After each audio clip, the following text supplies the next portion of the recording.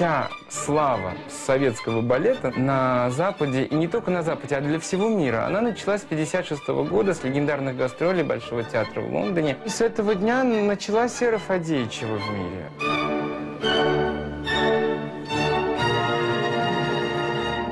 Это был самый его расцвет. И, конечно, многие танцовщики по миру стали подражать именно Фадеичеву.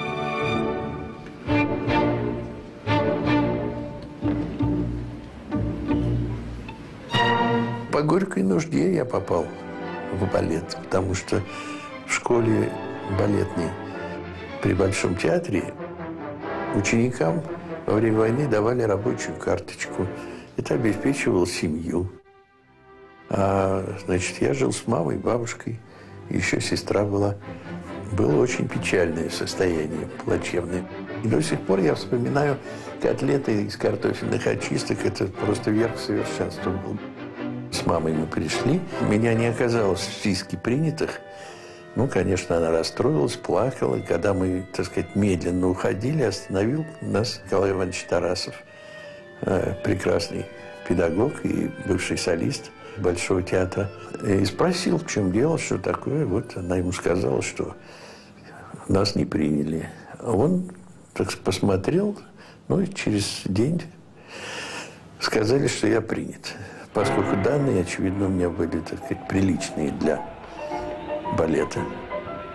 В моем сознании как-то не было так, того, чтобы я был лучшим и первым. Я и, потом, и когда танцевал, я как-то не стремился к этому.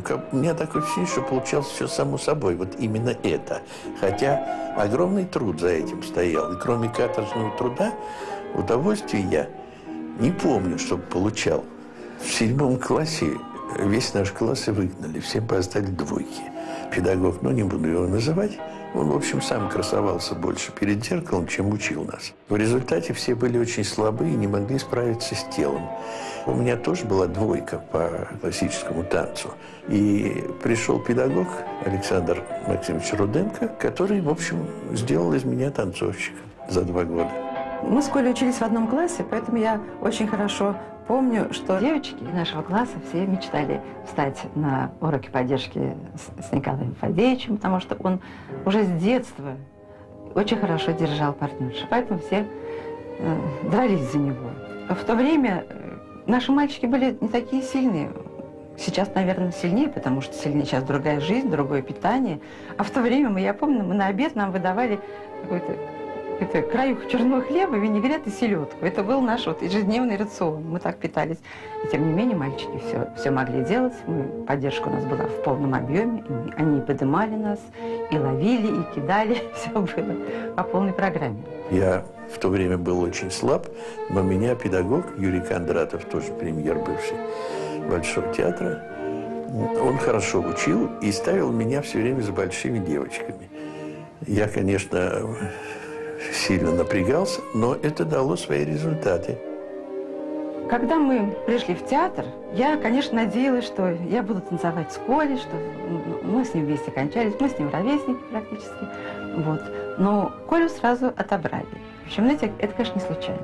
Галина Сергеевна Уланова взяла его своим партнером, взяла его э, в Шапиняну, в Жизель, потом Майя Михайловна Плесецкая. Майя с ним делала все спектакли. Он стал ведущий танцовщик танцевала мы с ведущим балериной Большого театра.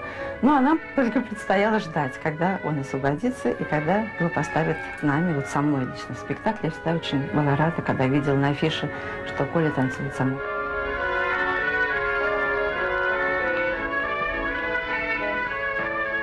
Нет, я не пришел к премьерам, я пришел в кардебалет и танцевал все кардебалетные партии. На второй сезон я станцевал «Лебединое озеро». Первое мое впечатление о красоте классического танца это было от Раймонды в исполнении Семеновой. И вот я помню это совершенно отчетливо, когда вышло вдруг Семенова, то это э, просто никого не стало видно. Такое впечатление, которое осталось у меня на всю жизнь. Когда в Киеве я первый раз танцевал «Лебединое озеро», в первом акте была такая, можно сказать, ходячая жизнь. Там не было танцев, и я не знал вообще, как себя вести. Семенова, видя, что я, очевидно, как э, слепой котенок, не тыркаюсь, не в одну сторону, то в другую, встала и показала мне. Буквально пару-тройку шагов, и когда она показывала, то это можно было залюбоваться. У нее тело просто звучало, как оркестр. Вот эти моменты я тут просто схватывал на лету. Очевидно. Нет, не старался ее повторить, а я это делал через себя, так как мне это необходимо. Вот после Семеновой мне было очень просто быть и графом, и принцем. Вся моя сценическая жизнь в классике прошла с ним. Он был моим главным партнером в классических спектаклях минимум 20 лет. Начиная с «Лебединого озера», с его дебютом в Киеве, когда было 300 лет воссоединения Украины с Россией. Это страшно широко праздновалось. И с этого все началось. Очевидно, это было э, хорошо, потому что после третьего акта Лавровский пришел ко мне в уборную и сразу наобещал мне все балеты, какие тут у нас в театре. Я не, не так сказать, просился очень не рвался, чтобы мне скорее-скорее освоить репертуар. И вообще я спокойно относился к своей работе. Я приготовил Жизель с Раисой Степановной Стручковой, а танцевать мне пришлось э, с Улановой э, в Лондоне. Первый мой спектакль. Было событие, естественно. В то время вообще никто не выезжал никогда за границу. Кроме э, единственного ездил ансамбль Моисеева перед нами только. Все, я думаю, в страхе были перед этими гастролями. На гастроли везли Галину Сергеевну Уланову. Это уже был бренд Советского Союза. И когда они только приземлились в аэропорту, перед ней летел миф – Конечно, Лавровский понимал, что нужен не просто успех, а непререкаемый успех, безоговорочный успех. Они понимали, что с точки зрения дамского танца они прикрыты полностью, а с точки зрения мужского танца, конечно, несмотря на то, что это хорошие танцовщики, большие имена, называть они не могли. Ведь в хорошей форме не видели ни Сергеева, ни Чебукяни, ни Ермолаева, да, ни Массерера, ни того же Жданова, ни Преображенского, ни Габовича. Это были очень достойные танцовщики. Просто к моменту 56 -го года они все были уже в очень солидном возрасте. Но нам надо было произвести впечатление и стали искать танцовщика. Конечно, первым, кого, на кого падал взгляд, был Николай Борисович Фадеичев. И Галина Сергеевна мне говорила, что Коля был настолько совершенен, что невозможно было его не заметить. Уланова рисковала, потому что на 23 года младше нее. Она попробовала с ним порепетировала, и я, вот она мне рассказывала, что она с первого момента поняла, что да, и этот выход он поставил пару Уланова-Фадеичев на недосягаемую высоту. Конечно, это было для э, карьеры подарок судьбы. Это судьба все. Но ведь сзади люди стояли, и они понимали, что они отдают не просто какую-то роль. Они отдают престижное место, привилегии на родине, и никто не хотел с этим расставаться. Публика принимала восторженно, и пресса была прекрасная. И венки на сцену приносили, и толпы после спектакля, запруженные людьми улицы. Я не собирал, не следил ни за прессой, ни за чем. Недавно в газете прочел, что про меня было написано, как это Фадеичев демонстрировал подлинное величие мужского танца. Ну, вот это, так сказать, одна фраза из целого ряда рецензий.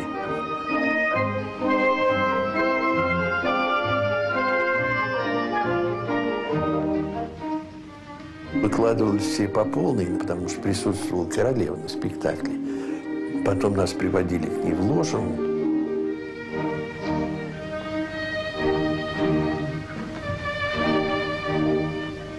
И после этого нам сообщили, что вечером после спектакля, ну, в ночь, вернее, ночью будет э, произведена съемка спектакля. Целиком опять. Ну, через час-полтора начали снимать фильм ночью. Ну, это было очень тяжело. Даже Галина Сергеевна кое-какие куски, э, значит, э, не снимала, поскольку было очень трудно. Она уже, у нее был возраст все-таки не молодой, но помню, что я просто умирал.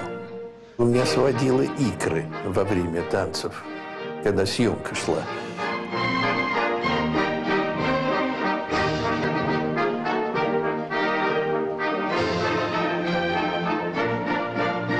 Конечно, был в приподнятом состоянии, естественно, поскольку был столько похвал всяких. Но э, здесь, в театре, меня все время старались осадить. Не давали ничего. Стоило мне что-то попросить, мне говорили, тебе рано, у тебя все впереди. Надо быть скромнее. Хотя я и не очень высовывался. Поэтому никаких изменений таких я не почувствовал. Седьмой вальс Шопена в исполнении Стручковой и Фадеичева. И в Америке были съемки, в Голливуде. К сожалению, как-то я не видел съемки этой. Мы сняли спектакль со Стручковой, а потом отдельно сняли только седьмой вальс.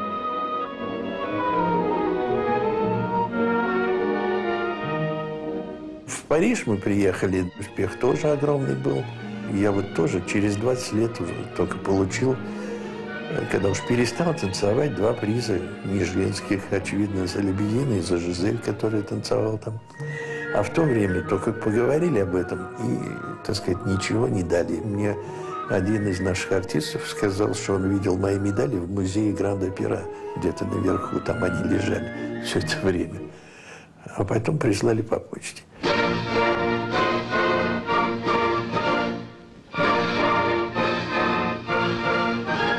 Мы перетанцевали с ним весь классический репертуар, и потом не только классический, и по всему свету мы ездили. Это была и Америка, и Франция, и Италия. И, вы знаете, я даже сейчас уж не могу все перечислять. В то время для нас за граница вся была вражеская. Все были враги, которые хотели нас якобы уничтожить. Но дело в том, что никто на нас не обращал так особенного внимания. Никакого страха не было. Единственное, конечно, с нами посылали людей в штатском, как говорили тогда, представители Министерства культуры, якобы, которые следили э, за нами. Но я, например, не помню, чтобы, так сказать, очень э, вокруг меня ходили, так сказать, и э, останавливали. Правда, я никуда особенно и не ходил, поскольку э, репетировал и готовился к спектаклям довольно серьезно. Поэтому я не отвлекался. Мы отдадим все силы, чтобы как можно лучше показать американцам наше искусство. Предлагали мне, конечно, мне остаться за границей. Мне даже вот самый такой э, вопиющий, можно сказать, э, факт по предложению, когда в посольстве наше пригласили несколько человек на встречу. Там были Григорович, Бессмертного, Плесецкий, Баланчин был, и остальных я сановников не знаю. И вот сидя за большим столом, мне вдруг обратились и сказали, что не хотел бы я остаться, так сказать, поработать в Америке. Это в то время, -то, надо, так сказать, знать, в какое время мы жили. Естественно, у меня мороз по коже, так сказать, и в таком, ну ладно, где-нибудь тихо, так сказали, а то ведь э, в самом посольстве. Э, я сказал, что я должен подумать. Сразу не ответил ничего. А потом думаю, ну, забудь ты, ладно. И, а потом в конце опять меня спросили об этом же. В мысли сразу забегали, ну, что будет? А поскольку жизнь была, когда сажали ни за что, можно сказать, я сказал, что я лучше еще, так сказать, приеду и не один раз, может быть, с нашим коллективом. Все, и после этого меня перестали брать в поездки.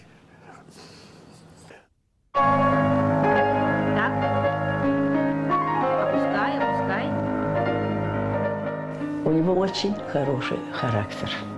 Не вступал ни в какие споры, ни в какие театральные интриги. С ним было легко работать. Мы во время репетиции только не спорили, мы вообще не разговаривали. Просто не требовалось это. Я все время слышу и знаю, что партнер ссорится. Что-то не так, это не так, ты виноват, что не так держишь, а ты не виновата, что не так стоишь. У нас не было таких э, прецедентов, понимаете? Мы работали очень споро, очень нормально, знаете. Я действительно не знаю, был ли когда-нибудь случай, что мы поссорились.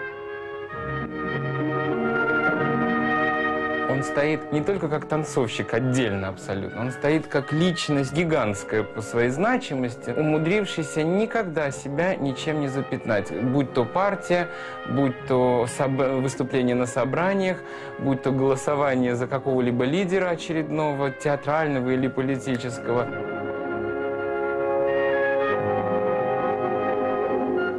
Нет, я не был членом партии.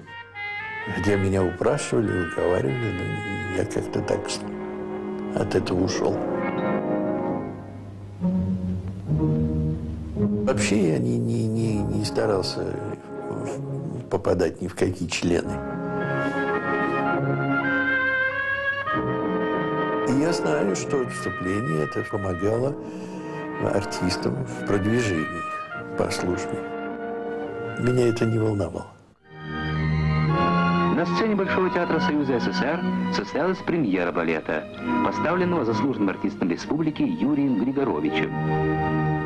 Пригласили Григоровича поставить в Москве каменный цветок, который он сделал в Ленинграде. Я репетировал в первом составе с Майей Плесецкой. Она была хозяйкой, и Марина Кондратьева была Катерина. Роль хозяйки «Медной горы» исполняет народная артистка РСФСР Майя Плесецкая партию Данилы Николай Фатеичев. Ну, так случилось, что не судьба, очевидно, была мне работать с Григоровичем. Я заболел во время премьеры. У меня была большая температура. И вместо того, чтобы отказаться, я пожалел, потому что тогда бы распался спектакль и танцевал с большой температурой, в плохом состоянии. В общем, чуть не терял сознание.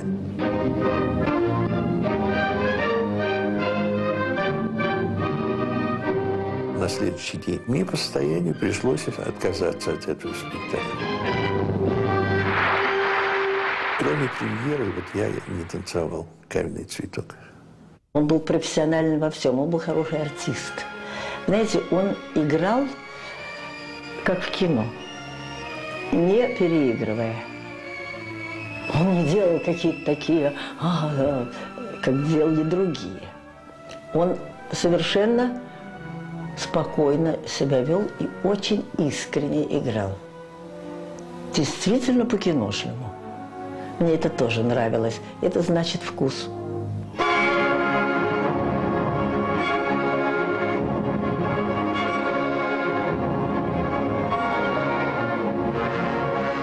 Лавровский хотел меня занять в этом спектакле с Улановой, но Уланова отказалась потому что разница, а я она испугалась разницы в возрасте. Как мне передали, так сказать. Ну, по слуху, у нас ведь слухи все время так вот. Так я с ней не танцевал Ромео.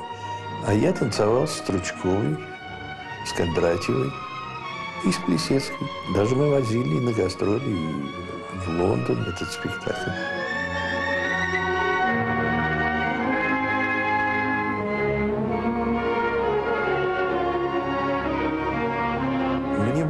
Со всеми балеринами танцевать. Выходила одна балерина, она несла свой образ, и я тут же подключался к ее созданию образа. Выходила другая балерина, я перестраивался под действие балерины, не теряя своего состояния, своего образа.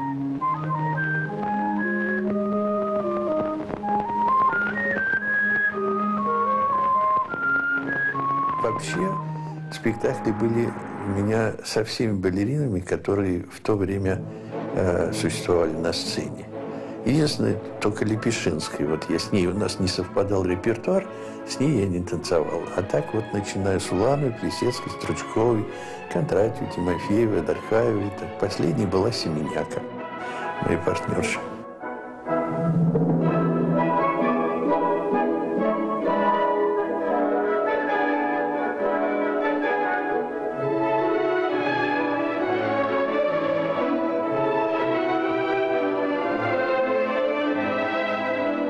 Если взять фотографии тех лет, то все вообще балерины раньше были более плотные и так солидные. Все-таки балерины ведь не легкие. Где-то 60 килограмм, не меньше, даже больше бывает. Ну, 50 бывает. Такой Новак был, помните? Э, Он, он был чем- чемпион мира по поднятию тяжести, штанги. Знаете, он не мог поднять балерину в арабеск. И подошел худощавый мальчик, так раз и поднял балерину. Причем так снизу, вот так вот, выжил ее. Был такой случай, когда мне было тяжело танцевать э, с балериной, э, с одной, ну, не буду называть ее имени, просто, так сказать, ни к чему. Я пришел к руководителю и сказал, что я не, не, не буду танцевать, не могу, я не, мне тяжело. На что он мне сказал, ну, что же, вы тогда вообще не будете танцевать. Я говорю, ну и хорошо. У него так челюсть отвисла. Он настолько поразился этому. Но потом я продолжал танцевать с другими. Народная артистка Советского Союза Майя Плесецкая и заслуженный артист РСФСР Николай Фадеичев в «Лебедином озере» на сцене оперного театра в Хельсинки. Иностранцев, королей, принцев, премьер-министров и всех прочих всегда кормили балетом. И, как правило, лебединым озером. Президент республики Урхо Кекконен сердечно поблагодарил советских артистов. Были несколько случаев таких, когда приходил руководитель и упрашивал меня на следующий день танцевать, когда я был не в форме. Говорил даже мне, что не надо, отменим все вариации, все коды, только выйди на сцену, походя. Даже вот такие случаи были. Но мне приходилось танцевать все целиком. В дни месячника болгаро-советской дружбы в Софии проходили спектакли балетной труппы Большого театра «Лебединое озеро». Танцуют Нина Тимофеева и Николай Фадеичев.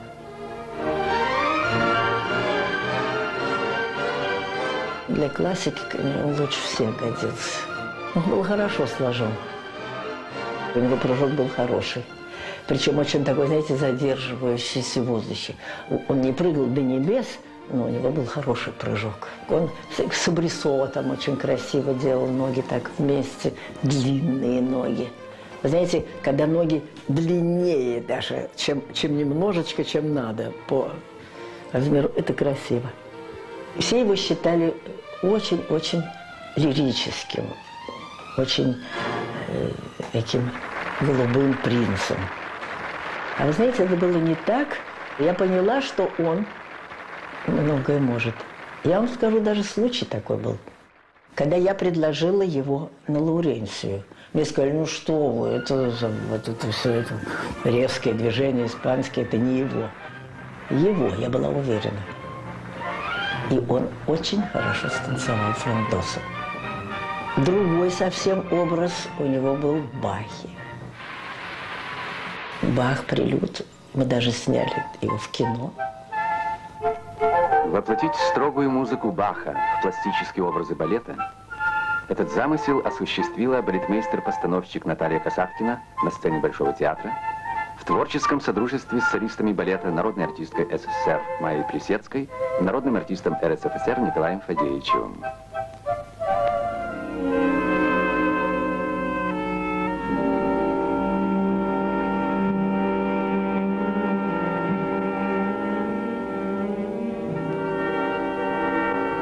Знаете, он очень тонкий, деликатный артист, что не часто встречается даже у драматических. Он был, в общем, мой партнер, так стабильно мой. По меня страшно подкупала всю жизнь в нем ненавязчивость. Он не навязывал себя никому, в том числе и зрителям. Он был таким, каким он представлял себе этот персонаж. В роли жар-птицы лауреат Ленинской премии Майя Плесецкая, Ивана Царевича Николай Фадеевичев. В «Жар-птице» он был действительно царевич. Тоже ненавязчивый. Он ничего не выпирал, он не играл на камеру, понимаете? Он был настоящий естественный артист. Я его называла киноартист.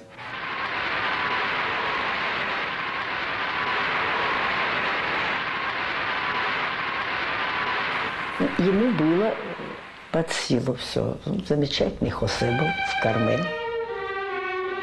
Фадеичева выбрала я. Я поняла сразу, что он годится. Я его брала всюду. Он был очень выразительный.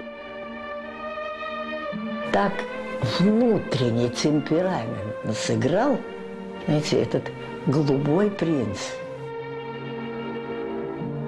Коля Фадеевич, всегда он чувство позы было, руки красивые, все.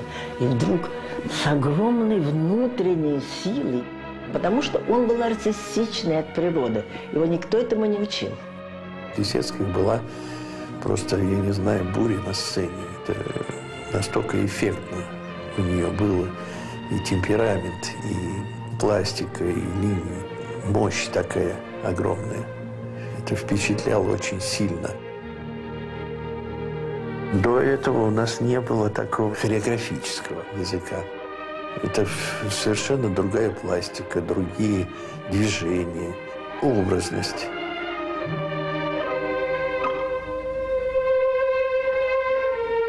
Все было в нове, новое для нас.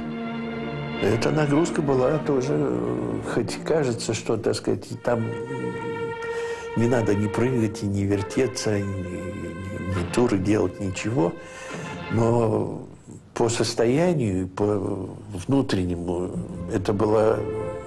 Я так уставал, что как от огромного большого спектакля. Выхолощенный был после.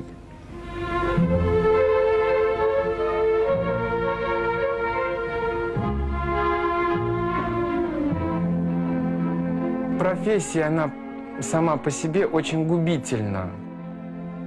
Очень мало кому удается пройти эти испытания и выйти здоровым человеком. Это болезнь, когда он стал астматиком, когда был нарушен обмен веществ, и он не мог с этим бороться. Он потихоньку уходил на другие роли, которые тоже очень хорошо исполнял. Но все равно нужны были силы, и особенно дыхание. Дыхания ему не хватало. Когда пошли первые проблемы со здоровьем, то люди постарались в небытие отправить Николая Борисовича. Неправда, что в театре работают добряки, и, и, они, и все ждут, когда, как бы тебе помочь. Нет, все ждут, когда ты промахнешься, когда ты дашь осечку. Но, слава богу, к этому моменту он был народным артистом СССР, и его высокое положение не позволило его закопать окончательно. Когда смотришь его на сцене, к сожалению, в записях, понимаешь величину его актерского таланта. То, что происходит, все легко, естественно. И когда смотришь, кажется, да, это делать нечего, но ты, как профессионал, понимаешь, сколько труда за этим стоит.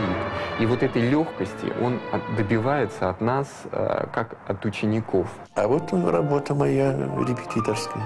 Она сразу началась. Я еще танцую, помогал некоторым артистам готовить партии. Ну, я, в общем, стараюсь не показывать никогда движений сам, чтобы не брали тут же манеру исполнения. У каждого своя индивидуальность, и каждый должен проявить себя на сцене. Надо, чтобы было видно человека на сцене самостоятельного, а не педагога в нем – я понимаю, какая грандиозная работа проделана Фадеичевым над нами.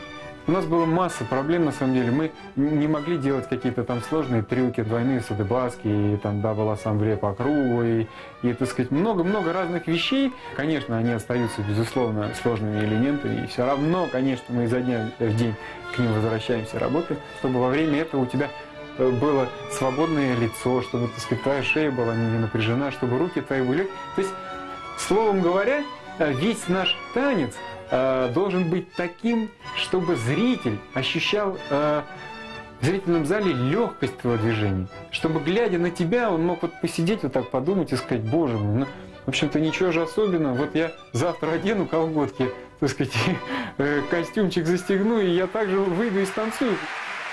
Как-то один из художественных руководителей вызвал меня к себе в кабинет и сказал, что вот, ты знаешь, посмотрел я на тебя, Сергей, ну, как-то вот колени у тебя не дотягиваются, и как-то вот ходишь ты по сцене, как э, старинный э, танцор, в общем, как, как, как твой педагог, в общем. И как-то вот я посмотрел на тебя, как-то это уже, вот знаешь, ну, как-то вот старовато выглядит, как-то старомодно. И вот я вот, знаешь, хотел тебе что предложить. Вот ты один остался ученик у Николая Борисовича Фадеичева. И вот если бы ты от него ушел, мы бы могли его, так сказать, спокойно и достойно проводить на пенсию.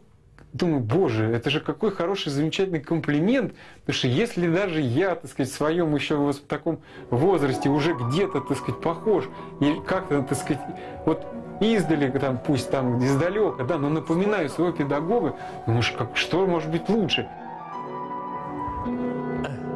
Конечно, я ответил руководителю, что ни в коем случае это невозможно, конечно же, нет. Но произошла совершенно невероятная, невероятная история как бы дальше.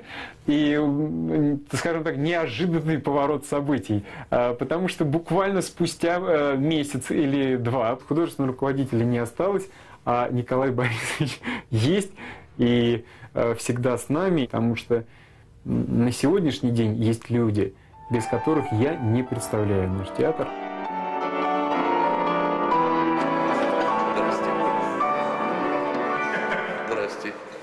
Небольшая, но могучая кучка. Когда еще с ним не работал, я делал по его кальке спектакли.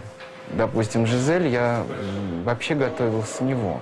Рядом со мной всегда стояла Уланова и Семенова. Для обеих Фадеичев был эталоном мужского классического танца. Они все время приводили его в пример. И, естественно, я прибежал к Николаю Борисовичу э, и попросился, вот, э, чтобы он меня взял. И на что он меня так посмотрел, сказал, говорит, я тебя возьму только с, в одном случае, если ты будешь меня безоговорочно слушать. Почему-то он считал, что я очень капризный. Когда вот э, просят меня, сказать, приходит э, кто-то из учеников со мной работать, я сразу говорю, что если, так сказать, будете слушать мои замечания, будете исполнять то, что я, так сказать, предлагаю замечать, тогда мы будем работать. А если нет, и если вы считаете, что это не нужно, тогда смысла нет. Вот сейчас вот точно музыкально было, потому что ям та та тирам. Не надо, надо высоко на... прыгать, а проворот брать. Да, да. И, и остается на это последние, так сказать, звуки, вот этот увертик. Вот второй был очень хороший, точно. Это да. Когда ставился балет «Пиковая дама», Ролан Пяти не пускал в зал никого, и Николай Борисович подключился к работе, когда Ролан уехал. Ролана не было полтора года. Все эти полтора года мы танцевали э, под присмотром Николая Борисовича. И когда Ролан пришел на спектакль, он подошел и сказал, я никогда ни в одном театре мира за, за те 50 с лишним лет, которые я работаю балетмейстером, не видел такой метаморфозы с балетом. Я вам оставил не просто хороший, я вам оставил отличный балет. Но я получил гениальный. Я преклоняюсь перед педагогом, который это сделал. Я всеми горжусь, потому что это часть моей жизни, часть того, что я отдаю им. 30 лет я занимаюсь педагогической и репетиторской деятельностью. У меня сейчас трое народных артистов, наши премьеры. Это Андрей Уваров, Сергей Филин, Николай Цискоридзе. Я живу этим, живу и их спектаклями, как они и что они делают на сцене. И стараюсь помочь, исправить, подсказать. Ему самому практически не нужно ничего показывать. Каждое его слово а, воспринимаешь даже не сознанием, хотя все прежде всего, как он говорит, что должно проходить через голову, а воспринимает тело. Вот сейчас уже наступает тот момент, когда его слово слушает мое тело. Я думаю, что и, я, и Андрюша Уваров, и Сережа Филин во многом, конечно, это Николай Борисович. Плеяда танцовщиков, работающая с ним, была колоссальная, и ведь никто ни на кого не походил. Конечно, его старший сын Алексей, он очень походил, ну, потому что он родной сын, это родная кровь, и, конечно, он был абсолютно выучен Николаем Борисовичем. У меня два сына. Один из них – Алексей, который был тоже ведущим танцовщиком, народный артист России. Я с ним работал э, здесь, э, в театре, так же, как и с другими учениками. Разницы-то в работе нет никакой, в жизни это другое дело. А приходишь в зал и быть любезен, и делать то, что должно выглядеть прекрасно на сцене. Есть второй сын, Александр. Работая здесь, он сейчас переходит больше на актерские такие партии, игровые. Для него мы э, все равны, мы все его ученики, все э, его любимые дети. Он наш самый любимый и уважаемый нами папка, потому что никто из нас не имеет возможности увидеть столько своих отцов, сколько мы видим нашего папку с утра до вечера э, в репетиционном зале. Я хочу, чтобы Коля был как можно дольше у нас в театре. Он нужен ученикам, он нужен театру, он нужен, нужен всем, нужен зрителям, потому что он выпускает прекрасных артистов на сцене.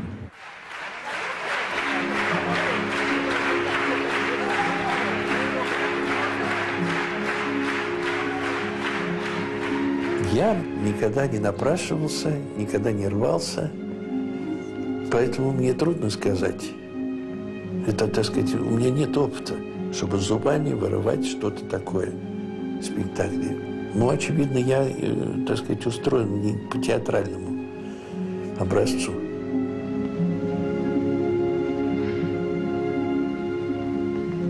Я протанцевал всего лишь 21 год.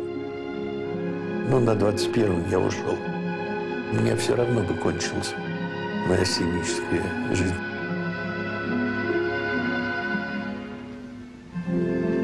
Да, это большая травма. Это действительно. Для меня это равносильно конца жизни, потому что живешь вот этими танцами, так сказать, этой хореографией, и э, настолько с ней соединяешься, что кажется, что просто другого ничего не может быть.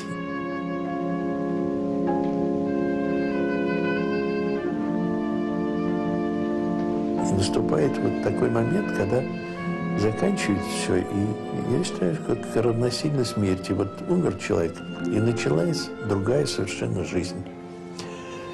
Вот у меня было такое ощущение.